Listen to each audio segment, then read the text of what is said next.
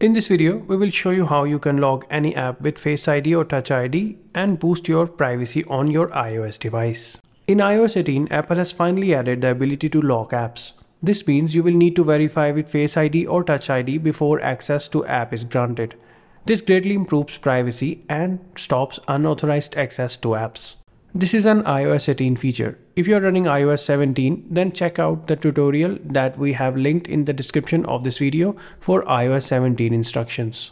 When you lock an app, it can only be accessed after a successful Face ID or Touch ID scan. Using iPhone's app lock feature is simple. Start by finding the app that you want to log and long press on its icon to reveal its icon menu. From the icon menu, find and tap on require Face ID option. On Touch ID devices, this should say require Touch ID. Now iOS will ask for confirmation. Simply tap on require Face ID option to lock your app.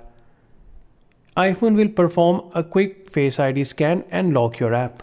Remember, when you lock an app, its app content will not appear in notification previews or spotlight.